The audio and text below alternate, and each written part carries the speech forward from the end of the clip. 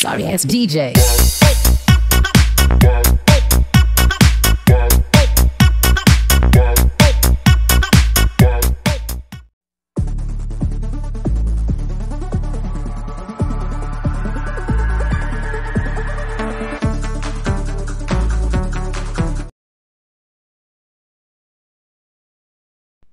Salam, salam damai sejahtera. Selamat kembali bergabung lagi di channel Gager 263. Di kesempatan kali ini saya akan berbagi video tutorial cara-cara merakit antena versi DIY. Untuk eh, bahan-bahan atau material yang saya gunakan di sini simple saja karena bahan-bahan yang saya gunakan di sini merupakan bahan-bahan dari barang bekas semua dan saya akan uh, merakit sebuah antena dan antena kali ini saya menggunakan antena bekas antena radio. Jadi antena radio ini nanti saya akan uh, membuat menjadi alat penerima siaran televisi, khususnya siaran TV digital.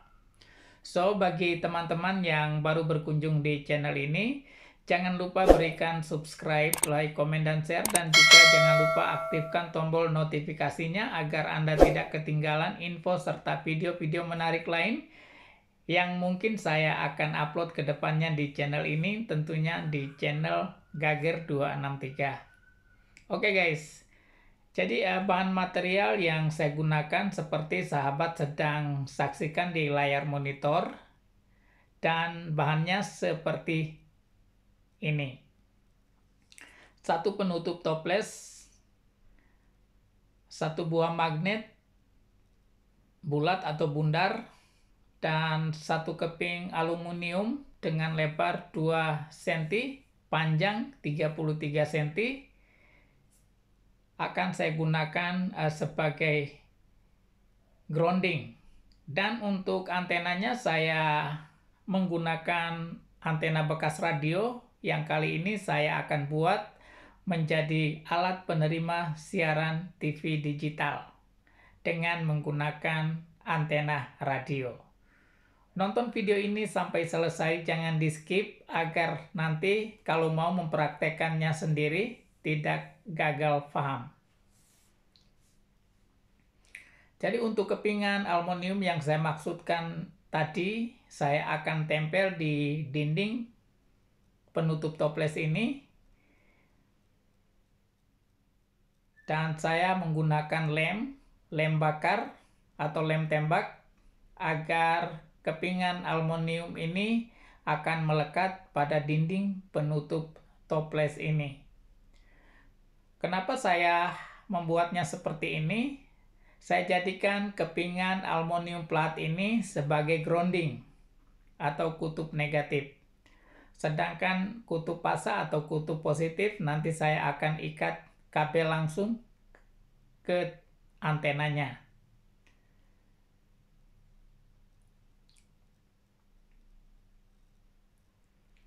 Jadi di tengah-tengah saya sudah bor satu lubang atau saya buat satu lubang dengan tujuan nanti saya akan pasang antena ini.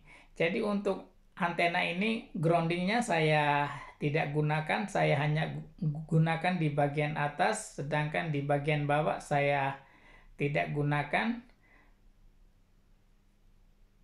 Dan saya sudah pasang satu washer kemudian saya akan masukkan antena radio ini ke lubang yang sudah saya bor tadi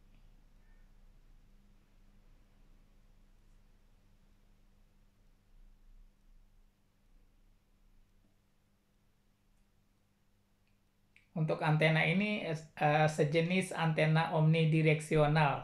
Ya, saya juga menyediakan satu buah konektor C yang saya sudah ikat atau saya tempel dengan kepingan aluminium plat tadi.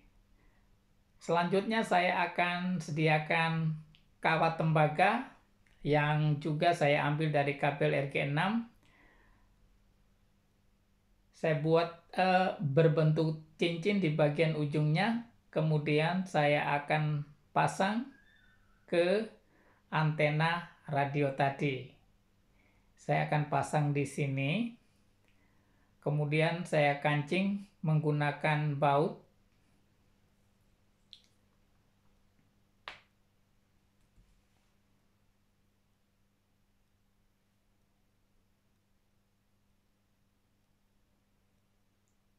lalu saya ketatkan bautnya agar ia tidak mudah lepas.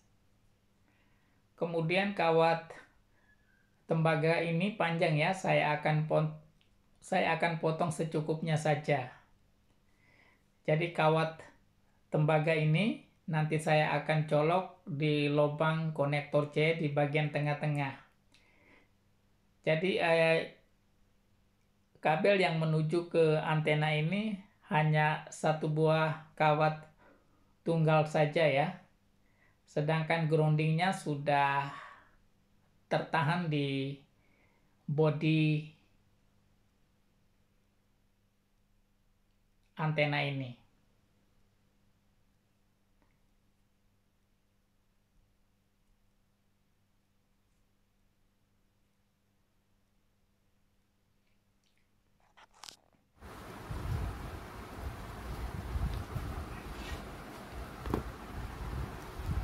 Jadi untuk memperkuat penarik sinyal saya gunakan satu buah magnet bundar yang di tengah bolong ya. Magnet bundar seperti ini. Saya membersihkan pinggirnya kemudian saya melem atau saya lem menggunakan lem tembak atau lem bakar. Seterusnya saya akan lekat di bagian bawah penutup toples ini. Di tengah-tengah tiang antena.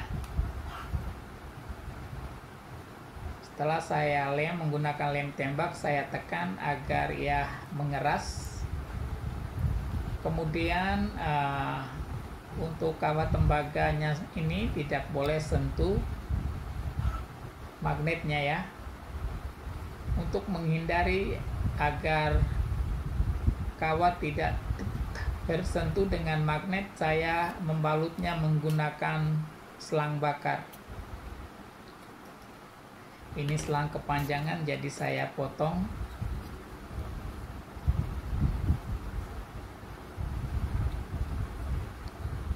Setelah saya memasukkan selang berikutnya saya akan masukkan kawat tembaga ini ke lubang konektor C yang ada di tengah-tengah. Jadi ini kawat tembaga ini nanti akan bekerja sebagai fasa atau kutub positif sedangkan kepingan aluminium yang melekat di dinding penutup toples ini adalah grounding atau kutub negatif. Saya tambahkan lem sedikit di bagian ujung konektor C agar tidak mudah lepas ya kawat tembaganya. Nah untuk hasil sementara sudah seperti ini.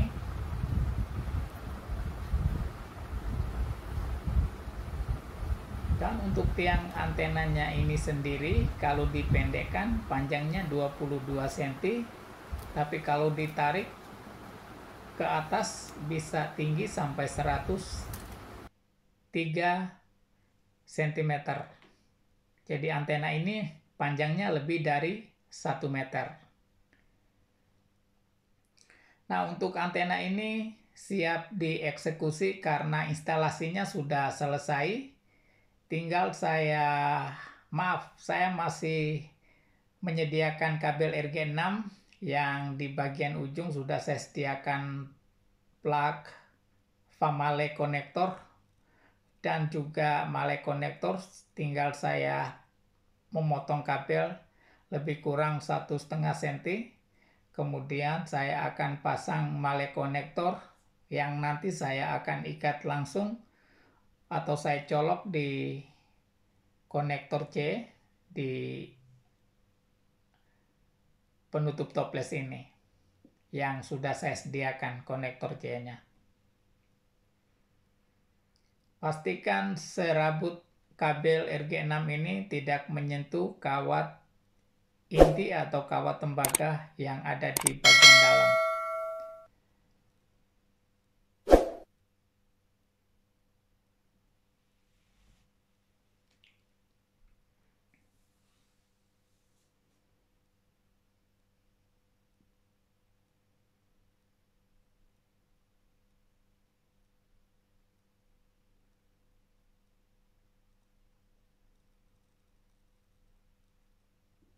Jadi dengan antena dari bekas antena radio ini saya akan gunakan sebagai alat penerima siaran TV digital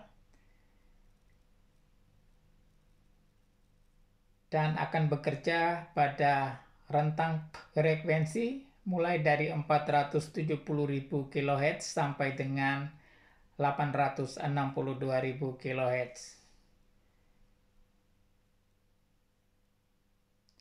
Dan teman-teman jangan risau atau jangan ragu kinerja dari antena ini karena saya sangat yakin bahwa antena ini bisa dapat bekerja untuk menerima siaran TV digital di tempat Anda ataupun di negaramu.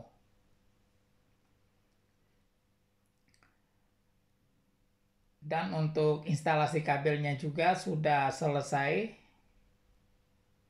saya memperlihatkan sekali lagi. Nah, sekarang saya sudah berada di salah satu ruangan yang biasa saya melakukan uji coba antena-antena yang saya buat. Dan di sini saya sudah menyediakan satu buah monitor 7 inch dan juga satu buah decoder GT Media V7 Plus. Ini adalah decoder combo jadi bisa untuk TV satelit dan bisa untuk TV digital. Oke, saya nyalakan decoder atau set-top box-nya. Kita bisa lihat ya. Apakah antena ini bisa dapat menangkap gambar dari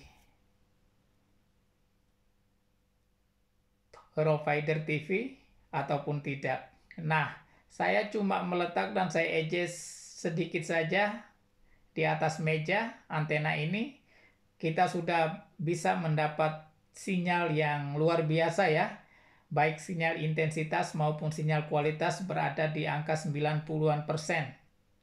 Jadi ini sangat luar biasa. Oke, saya akan sekali lagi melakukan scan secara oto biar ya mencari sendiri dengan jarak dari stasiun pemancar TV ke tempat saya dengan jarak 10,6 km. Jadi uh, saya sangat tidak merekomendasikan untuk teman-teman yang tinggal jauh dari stasiun pemancar TV minimal uh, 15 sampai 20 km ke atas antena seperti ini tidak sesuai untuk Anda.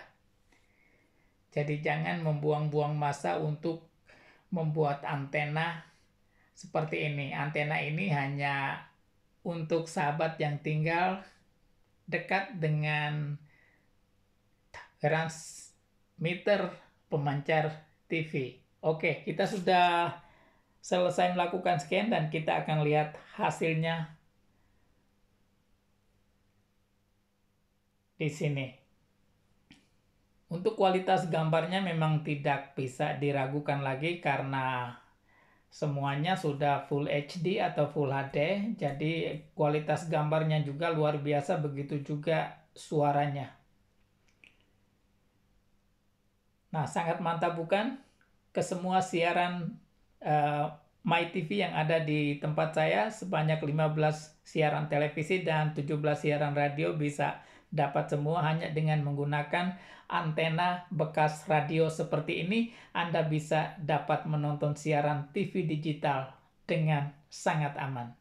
Oke guys, dengan demikian video ini saya cukupkan di sini. Sekiranya sahabat menyukai video ini, jangan lupa berikan subscribe, like, komen, dan share. Dan juga jangan lupa aktifkan tombol loncengnya agar Anda tidak ketinggalan info serta video-video menarik lain yang akan saya upload ke depannya di channel ini. Tentunya di channel Gager 263. Salam santun, salam sehat, serta salam hormat dari saya, Gager 263. Sampai ketemu lagi di next video. See you there.